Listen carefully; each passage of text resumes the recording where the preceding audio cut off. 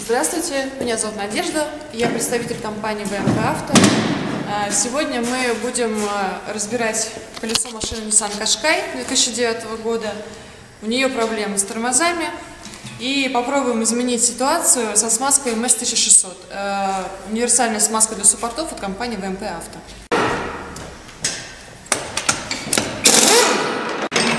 А, Итак, мы сняли колесо, так как клиент обратился к нам с проблемами скрипа тормозов, мы сейчас пытаемся выяснить, что происходит. А, Осматриваем диск. Э, Если провести немного на ощупь, то чувствуется неравномерный, неравномерный износ диска. Вот. Но для того, чтобы посмотреть конкретно, что происходит, нам нужно снять э, направляющие, откинуть суппорт и посмотреть на колодки. Да, Тогда мы выясним причину неравномерного износа и попытаемся это исправить. В данный момент э, специалист снимает э, направляющие, откручивает направляющие, для того, чтобы мы смогли оценить состояние колодок, состо- э, оценить состояние резиновых деталей суппорта, направляющих, то есть посмотреть, закоксованы направляющие или нет. А, Возможно, оценить старую смазку а, и так далее.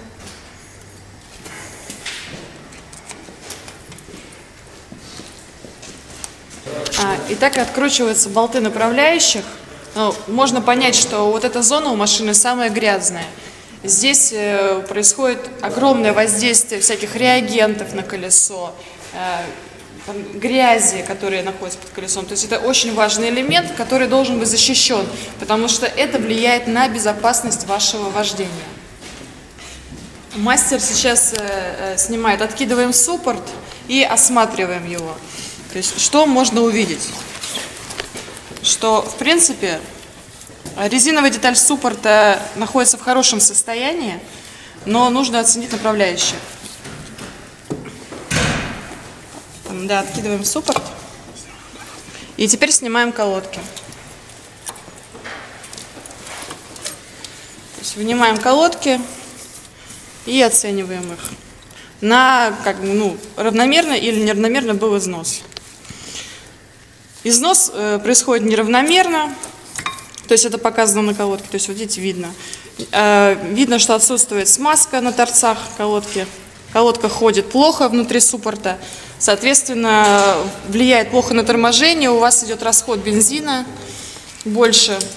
И, соответственно, через полгода, если вы используете неправильную смазку, это может привести к заклиниванию а, суппорта самого и к ремонту дисков.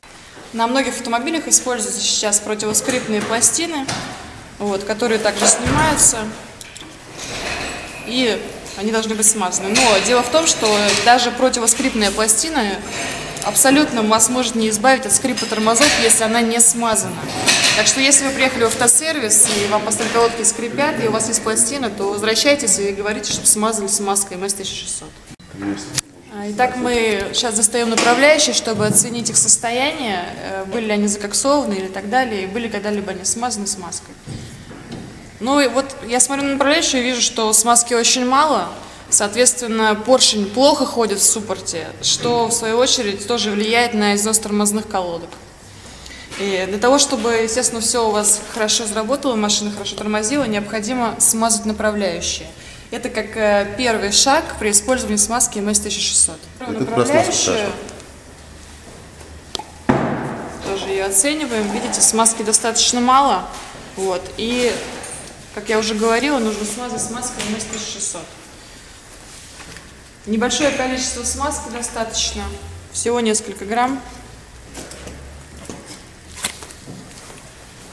Вот.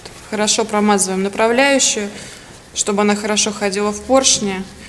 Смазка обладает шикарной адгезией, не вымывается водой, работает при высоких температурах, обеспечивая хорошую работу поршня. Итак, мы смазали одну направляющую. Я пока временно отложу. И точно так же поступаем со второй направляющей. Небольшое количество смазки.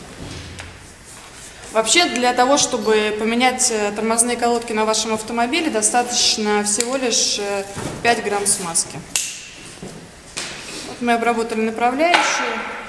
И, как я уже говорила, это является первым шагом. Теперь нам нужно обработать тормозные колодки. Направляющие смазкой МС-1600. Установили их а, на тормозной диск, да, то есть здесь будут дальше закреплены колодки, и вы можете сами убедиться, как стали ходить направляющие. Они ходят там достаточно легко и свободно, обеспечивая вам комфортную езду и торможение, соответственно. После того, как мы смазали направляющие, переходим ко второму этапу. Э, Мы должны обработать смазкой МСТ-600 колодки. Э, Очень важный момент э, перед обработкой колодок, да, комплекта колодок, их нужно почистить от грязи, да, для того, чтобы обеспечить смазке хорошее прилегание с поверхностью колодки. Но здесь вот есть тормозная пластина, мы ее тоже должны снять, протереть от грязи. Смазку. А, Мы сняли противоскрипную пластину, и теперь нам нужно нанести смазку МС-1600. Выдавливаем небольшое количество смазки, абсолютно чуть-чуть ее нужно, и начинаем размазывать. Еще раз обращаю внимание на нерабочую сторону колодок. Это очень важный момент. Таким образом мы здесь уже обработали, ставим нашу пластину. Даже вот можно видно на колодках точки соприкосновения, которые ну, наиболее подвергаются воздействию при торможении. Вот. Здесь тоже выдавливается небольшое количество смазки.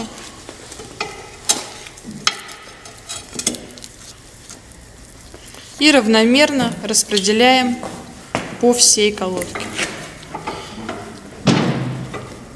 Кроме того, что мы смазали нерабочую сторону колодок, нам нужно смазать торцы колодок. Для того, чтобы обеспечить ей свободный ход, иногда вот возникает скрип при движении, что колодка плохо ходит и возникает скрип. То есть смазка, она также воздействует на то, что устраняет скрип тормозов. Итак, мы смазали наши колодки. И сейчас их будем устанавливать в суппорт. Этапом э, эффективного так сказать, применения смазки МС-1600 является смазывание поршня, который находится внутри суппорта, для того, чтобы обеспечить ему плавный ход в цилиндре. А, Для того, чтобы нанести туда смазку МС-1600, воспользуйтесь, пожалуйста, шприцом, но опытные механики знают, как это делать.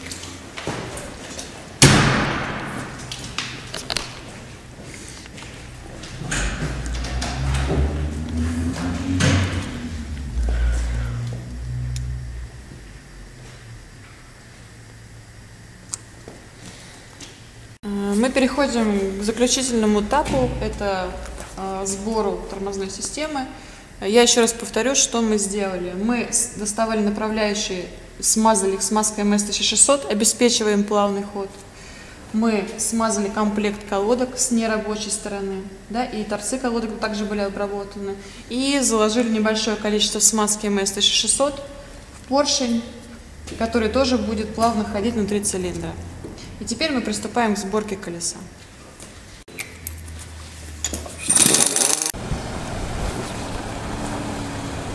Давай, давай, давай, подъезжай. Все. Итак, мы можем убедиться, что универсальная смазка работает. Она эффективно устранила скрип на этом автомобиле. Пользуйтесь ею и просите ваших механиков обработать колодки, когда вы будете их менять в начале или осенью, в конце сезона.